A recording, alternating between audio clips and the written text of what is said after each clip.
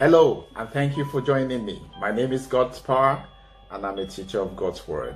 Hope I'm meeting everyone in good form. Hope I'm meeting everyone with God blessings. I want to appreciate God for your life because I know God has been faithful to you. Praise God. Uh, today, I want us to look at something very important to, to man and to how his existence is here on earth, how he hopes to navigate his life to fulfill God's own purpose for his life, to fulfill that precept to which God has created him for. You see, God relates with man in two different ways through his promises and covenant and through his principles. So if a man can balance how these two, a man can live a fulfilling life, a life that God has ordained him to live. So the ability to fulfill both his principles and his promises and covenant is what makes a man successful in life. So it depends on how much of God's promise you know. It depends on how much your understanding you have for those promises. And depend on how much you believe in those promises coming to pass in your life. You see, God is a promiser. God is a God that promises. And the reason why God promised is because He wants to show Himself. He wants to show to you that He is a faithful God and is able to do that which He has promised. So God is never offended when we test His promise. Because that's the only way He can show that He is God. So this message is going to be a two-part message we're going to take the first part today, which is going to be the promises and covenant of God to a man and how a man can leverage on it to be successful in life. And the second part will be his principle. So we're going to leave the principle out for today. We're going to do that in our next teaching. But for today, we're going to look at the promises and covenant of God to man and how man can use them to live a life of fulfillment, a life that is worthy. So today we're just going to jump into the message. But before we go, I'd like to quickly say a word of prayer. Father, we thank you, Lord, for your grace and for your mercies. We thank you for your goodness. We thank you for the things you've done. We thank you for your love towards us. We thank you for keeping us. We thank you for your provision. We thank you for leading our ways. To you be all the glory in the name of Jesus. Lord, as we learn today, I pray that every heart that will hear me, every ears that is hoping to hear me this day, Lord, will receive grace. Grace in their heart to absorb this word and to run with it in the name of Jesus. Thank you, Heavenly Father.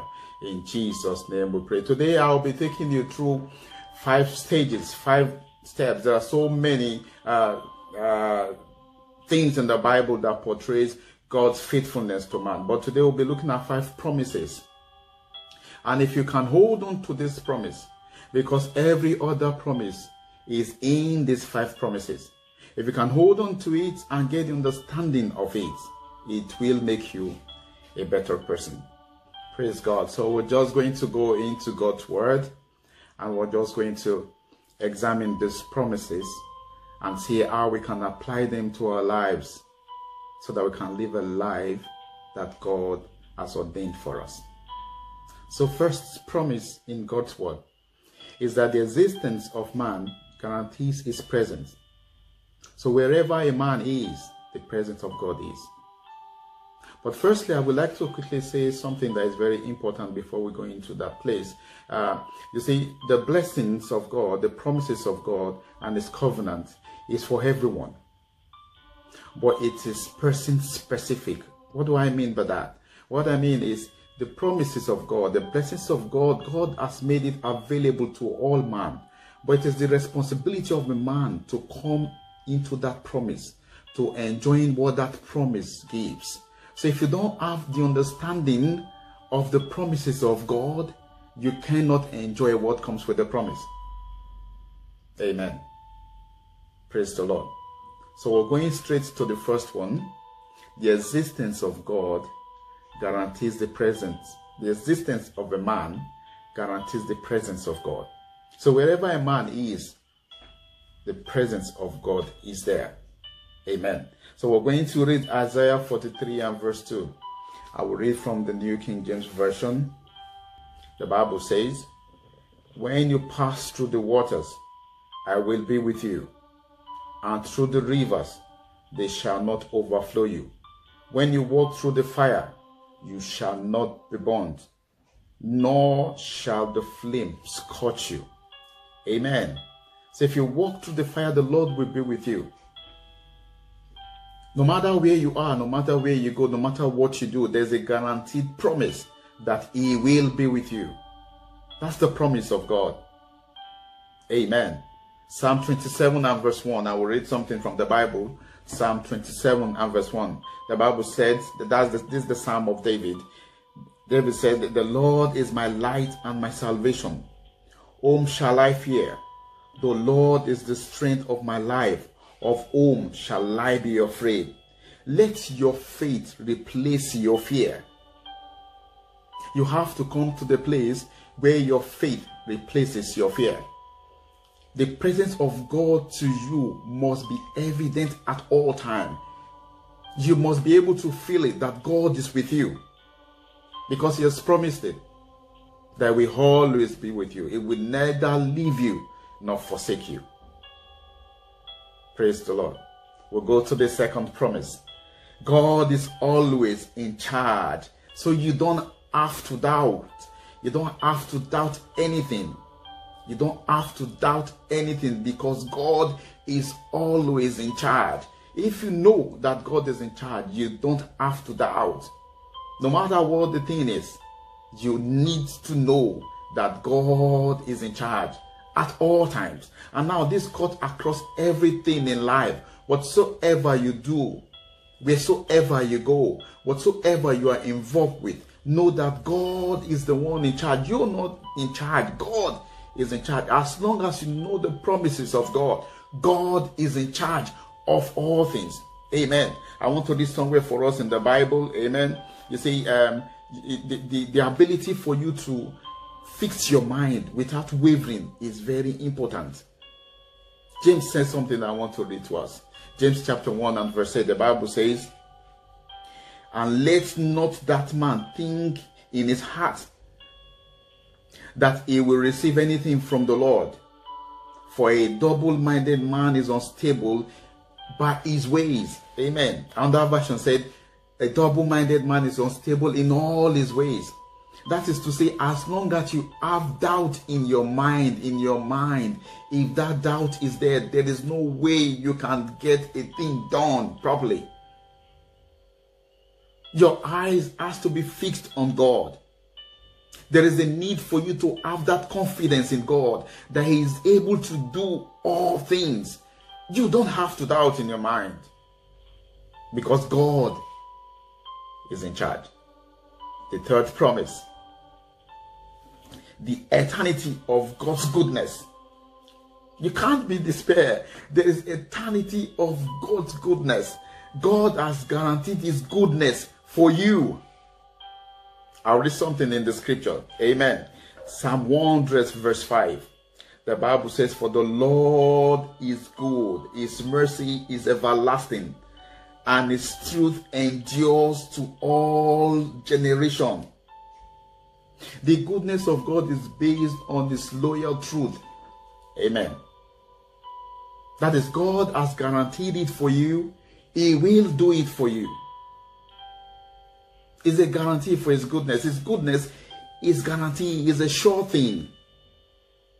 So we need to know that God is a good God. He is ever looking for how we will be better in life. So when things negative come across your way, it isn't God. It isn't God. Because God is a gracious and good God. Praise God. I will go to the fourth uh, point, the fourth promise of God to a man. God is a watcher and a keeper. God watches over us and He keeps us from every harm. He is our watcher and He's our keeper. I'll read something for us in the Bible. Amen. Second Chronicles chapter 16 and verse 9. The Bible says, The eyes of the Lord search the whole earth in order to strengthen those whose hearts are fully committed to him. So his eyes watches around the earth looking at us as children, strengthening us, guiding and protecting us. That is God's eternal promise for us. It is his eternal promise for his children. He's constantly watching over us to guide and to protect us. We need to know this so that wherever we go, when we sleep at night, wherever we find ourselves, there is a keeper of our lives. Nothing can happen to you. Nothing is permitted to happen to you. No, nothing is permitted to happen to you because there's a coverage over you that cannot be broken. Amen. Let me read something for you. Very interesting thing in the Bible. Now, let's go to Psalm 121 and verse 5. Psalm 121 and verse 5. The Bible says something very, very interesting. It says, The Lord Himself watches over you, the Lord stands beside you as your protective shade. Praise God. I'm really excited by that verse. The Lord watches over you. The Lord protects you as the shade around you. That is to say, there is nothing that can break in. There is a protective hedge that nothing can break through to meet you. Because there's a coverage of God over you. Amen. It's something to be excited about. The understanding of you knowing that wherever you are, in spite of anything that happens to you, the Lord is around you. Daniel knew this. So Daniel was thrown into the into the lion's den. And Daniel was there with all confidence, knowing that there is a God that can keep, there is a God that can protect, there is a God that says a thing and there's nothing that can negate it. Daniel knew. So we need to have this understanding of his shield upon us, that he is our keeper, that he watches over us. Amen. Let's go to the last uh, promise of God to a man. God's promise us victory. We have victory in the Lord. God promised us victory in everything that we do. The promise of God is victorious victorious in all things. We will be victorious. I'll quickly read something for us in the Bible before we round up this message.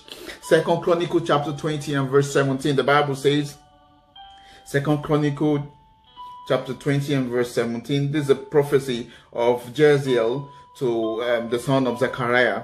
Uh, it, it, says something when the uh, the um, the Ammonites, the uh, Moab, and Mount Seir uh, are gathered together to fight against the children of Israel. He said something, he prophesied it, and he said, You will not have to fight in this battle. Take up your position, stand firm, and see the salvation of the Lord. The salvation he will give you. And see the salvation that the Lord will give you. So, in spite of what we are going through, in spite of where we find ourselves, the Lord has made us victorious. Let it be rest assured in your mind, in your heart, that you are victorious in all things. No matter what the thing is, no matter what the conditions are, you are victorious in all things. Praise the Lord. Those that believe in God have great gain. They have great gain in wealth. They have great gain in, in good health. They have great gain in the things of life. They stand tall, far above principalities and power. They have spiritual confidence and spiritual hedge over the host of darkness. And above all, they have a place in the kingdom of God. I would like to stop here. Uh, and hope you will join me um, the next time in the in the second part of this message. Uh, before I go, I'd like to say a word of prayer for a number of people that are watching me today. And um, you see, this promises doesn't come to everyone. Like I said in the beginning of this message, I said God's promises and covenant is for all, but it is person specific. You need to be qualified for it. And what other thing will make you qualified than accepting God to come to your life so that you can be God's own? You can be one of those that the Lord will call his own. So if you're here watching me today, I'd like you to lead you in a short prayer to the Lord, and I'd like you to give your life to God so that you can be one of those who, who these promises we apply to.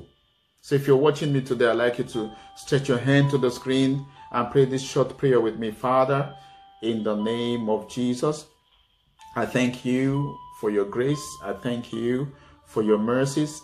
I thank you for bringing me to knowing your promises for my life. Lord, I'm giving my life to you that you accept me into your kingdom. My life is yours now. I accept Christ as my Lord and personal Savior.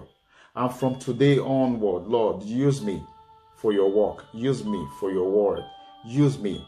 Let the zeal of your word consume me, O God, as I yield myself unto you. In Jesus' name. Amen. I like to pray for you that are looking unto God for something, that are looking up to God for for something that that you that you feel is not coming yet. I, I like to pray for you, Father. I thank you for my brothers. I thank you for my sisters. I thank you for that man, for that woman. I thank you for that person that is looking unto you for something, for for a miracle, for for a touch. Father, I pray for as many that are sick. I ask for your healing virtue to flow through this broadcast unto them in the name of Jesus. Let there be healing. Let there be power. Let there be strength in the life of men. Let every weakness be turned to strength in the name of Jesus. Whatsoever that man or that woman looking at me is looking for, Father, I pray that you provide for them in the name of Jesus Christ. Thank you, Heavenly Father. In Jesus' name, I pray. Praise the Lord. I'd like you to share this message to as many people you can share it to so that it will bless them. And I'd like you to subscribe uh, so you can get the notification whenever I upload a video. Now, don't forget to join me in my next um, part of this message. Uh, it's going to be great. It's going to be uh, a good one. And it's going to be a balance to what I've just uh, taught now. So the Lord will bless you and the Lord will be your guide in Jesus' name. Now, thank you for staying with me until I come your way next time. God bless you.